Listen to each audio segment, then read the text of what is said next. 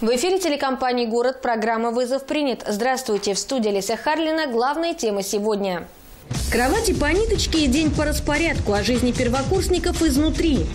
Что не продадим, съедим сами, задержана преступная группа наркопродавцов.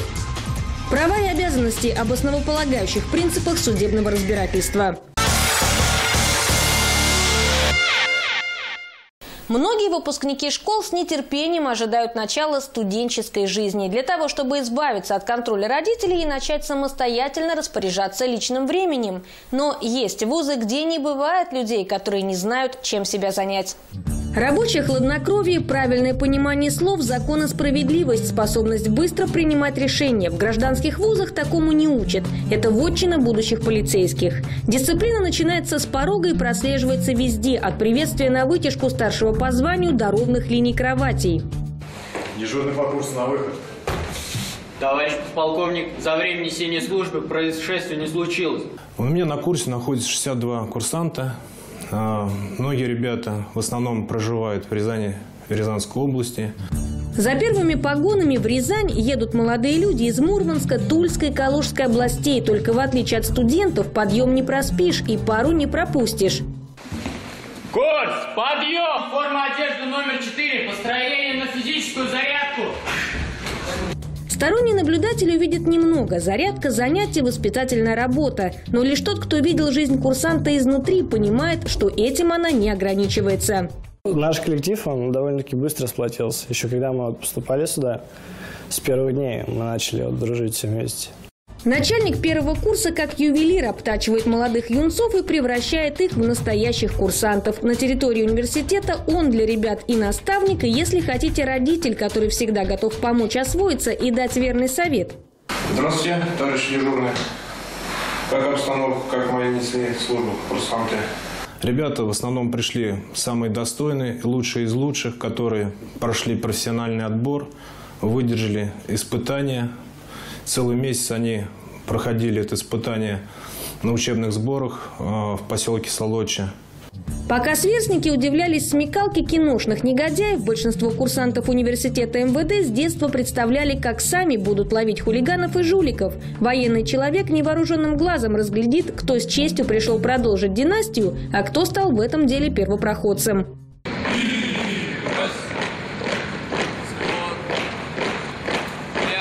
Он довольно-таки сложен после обычной гражданской жизни.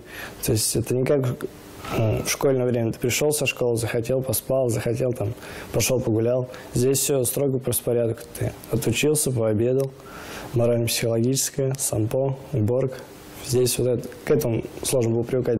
Первокурсники признаются, раньше и не представляли, какое количество дел, оказывается, можно успеть переделать за один день. Режим питания тоже по распорядку. За это родителям переживать нечего. Кормят как в санатории, каждая калория на своем месте. Есть и выпечка, и наваристые супы, и второе на выбор. Курс, приятного аппетита! Георгий Иванов стал первым курсантом, который приехал из приморского города-курорта на западе Крыма. По стопам отца в морской флот не пошел. Ну, я понял, что здесь все строго, как бы такого сюси-пуси, как мамочка не было. Будет все сам за себя, то есть ты должен сам все себе делать. Как взрослая жизнь началась. Георгий хоть и мечтал стать полицейским, а не представлял, что этому поспособствует в первую очередь бокс, которым он успешно занимается с 6 лет. Когда Крым воссоединился с Россией, он оказался в сборной страны. Там и узнал о Ярославле Пешкове, который сегодня тоже успешно учится в университете МВД. Единомышленников нашлось так много, что выбор уже не стоял. Сдал экзамены, а два года, 14-15 год, еще Владимир Владимирович Путин сказал, что без ЕГЭ поступайте в любой университет России. Труднее всего после гражданки привыкать к нарядам. Учебный процесс постоянно чередуется с несением службы. Зато и подготовка соответствующая. Дзюдо, легкая атлетика, бокс – выбирай, что душе угодно. Участвуют в разных э, спортивных кружках, художественной самодеятельности. Занимаются очень активно спортивной жизнью. Расцветали яблони и груши,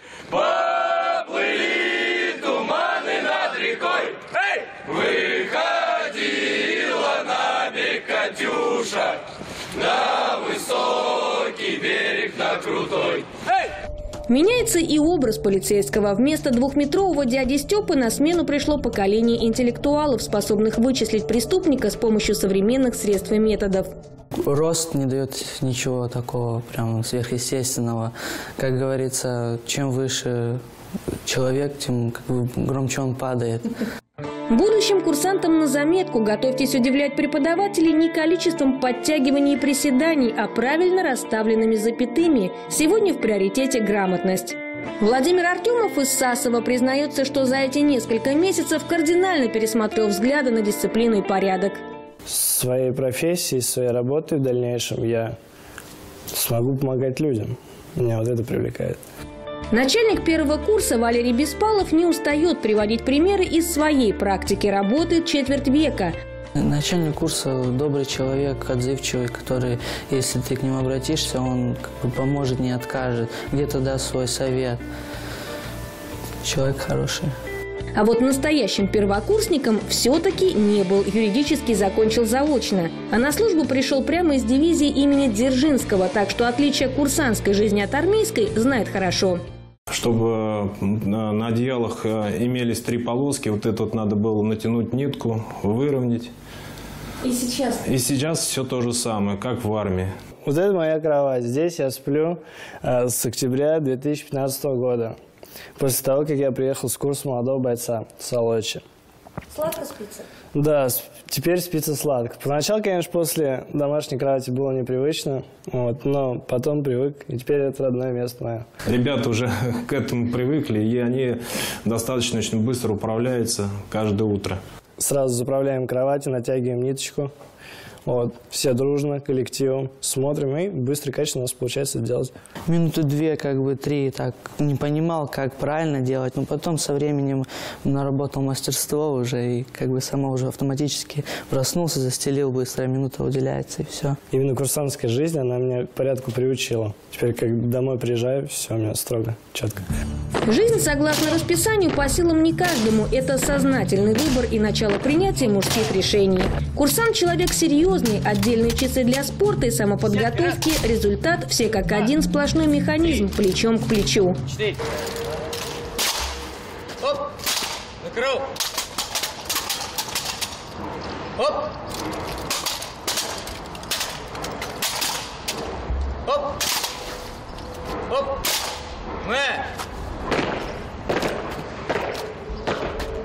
Пока в бой идут одни старики, молодежь учится филигранно чеканить шаг, правильно заботиться о форме и успевать совмещать учебу с увлечениями. Молодые сотрудники смотрят на новичков с ностальгией. Константин Рожков был первокурсником в 2007 а кажется только вчера. Все наши выпускники сейчас достойные сотрудники, офицеры. кот- Некоторые проходили службу на Северном Кавказе, где показали себя, а также проявили себя в практических органах. Стали хорошими следователями, оперативными работниками, участковыми. Все люди, которые воспитывают сотрудников будущих, сами не один десяток лет служили на, на земле в практических органах и передают свой опыт молодому будущему поколению. Тех, кто не имеет отношения к полицейскому вузу, в шутку называют людьми земли. На правах прессы с удовольствием передаем приветы на малую родину первокурсников. Передаю привет своей маме. Очень скучаю, люблю. Мои родители, мама, отец и брат, вам огромный привет. Брат, э, тебе желаю, чтобы ты процветал в спорте, также прислушался отца, поступал в морской флот, так как ты защитник Отечества, ты должен защищать свою семью, свою родину. Курсантская жизнь – это не только кровати по ниточке и день по распорядку. Из строгой геометрии правило только одно – если выбрал эту прямую, не сворачивай, иначе какой смысл? Мы желаем всем курсантам университета МВД с честью отучиться, а всем поступающим не бояться дисциплины и на всякий случай повторить матчасть. Как показывают криминальные сводки, есть друг за друга путь соли уже не актуально. Ради сохранения добрых отношений с родственниками и собственной свободы некоторые готовы прямо на месте преступления съесть улики. Пять килограммов синтетических наркотиков были найдены оперативниками раньше, чем 20-летние продавцы успели закончить свою грязную работу. Чем вообще ты тут занимаешься? Развозили, закладки делали. закладки. А ты закладки где берешь? Ну, подбирали опты, потом фасовали и раскидывали. Понятно. То есть э, ты получал только сырье, да? Да. Преступную группу на троих сообщники сообразили в одной из рязанских квартир. Там и фасовали отдельные дозы наркотиков в самодельные контейнеры. Во время специально подготовленной операции полицейские задержали трех злоумышленников прямо на адресе. В ходе досмотра жилища сотрудники полиции наряду со специальными весами и множеством заготовок для кустарной упаковки обнаружили пакет с порошкообразным веществом и два брикета бурого вещества. Позднее экспертиза установила, что злоумышленники должны были расфасовать 2149 граммов синтетики. За очередной посылкой с оптовой партии наркотиков поехали уже оперативники. Товар злоумышленники замаскировали под листвой в лесополосе на окраине Рязани. В запаянном полиэтиленовом пакете содержалось более тысячи граммов сильнодействующего средства. Другие импровизированные тайники находились в гаражных кооперативах. Звеньев криминальной цепочки, как всегда, оказалось несколько. С использованием возможности сети интернет планировал распространить наркотики и 23-летний житель Рязани, задержанный накануне сотрудниками уголовного розыска. Оперативники сразу же зафиксировали первые попытки злоумышленника сбыть небольшое количество синтетики. В ходе проверки выяснилось, что большой запас наркотиков молодой человек может хранить у себя дома. Когда оперативники зашли в квартиру, злоумышленник попытался уничтожить часть наркотиков, начал засыпать порошок себе в рот, но его немедленно остановили. А здесь какие наркотики вообще распространял? Их называют кристаллы. Но это он их так называл. Сам употребляешь? Сегодня употребил. Десятки пакетиков с наркотиками и целый список кормушек для желающих испортить свою жизнь пагубным пристрастием и уголовным сроком. А таких желающих немало. Длинная цепочка сообщников вывела оперативников на 33-летнего рязанца и его 29-летнюю родственницу. В отношении всех задержанных возбуждены уголовные дела.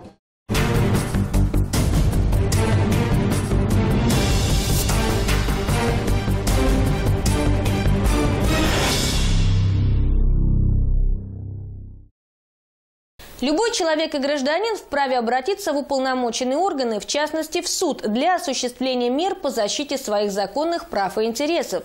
Но как раз в тот момент, когда речь заходит о правах, люди забывают о своих обязанностях. Сегодня поговорим об основополагающих принципах судебного разбирательства. Одним из них является непосредственность и устность. Что это означает? Это означает, что в судебном разбирательстве все доказательства по уголовному делу подлежат непосредственному исследованию. Первый случай оглашения показаний потерпевшего или свидетелей в суде. Первое – это оглашение ранее данных показаний, согласие сторон при неявке свидетеля либо потерпевшего в суд. А, в этой ситуации, а, как правило, заслушивается мнение всех сторон, то есть выясняется позиция адвоката, подсудимого, а, обвинителя, согласны ли они на оглашение показаний данных участников уголовного судопроизводства в суде. Если свидетель или потерпевший изменили свои показания, в этом случае выясняются причины таких противоречий. Третий случай оглашения показаний потерпевшего или свидетелей в суде. Оглашение ранее данных показаний по ходатайству сторон или по собственной инициативе суда только в определенных случаях.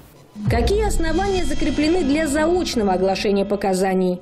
Смерть потерпевшего или свидетеля, тяжелая болезнь, препятствующая их явке в суд, отказ потерпевшего или свидетеля, являющегося иностранным гражданином, явиться по вызову суда – Стихийное бедствие или иное чрезвычайное обстоятельство, препятствующее явке в суд. Если свидетели или потерпевшие трижды проигнорировали вызов в суд. Введено новое, пятое основание – оглашение ранее данных потерпевшим или свидетелем показаний и воспроизведение видеозаписи следственных действий с их участием в суде в случае их неявки в судебное заседание – Теперь такое решение может быть принято судом по ходатайству стороны или по собственной инициативе, если установить местонахождение потерпевшего или свидетеля для вызова в судебное заседание не представилось возможным. Право огласить показания заочно может быть реализовано судом только при возможности подсудимого в предыдущих стадиях производства оспорить эти доказательства.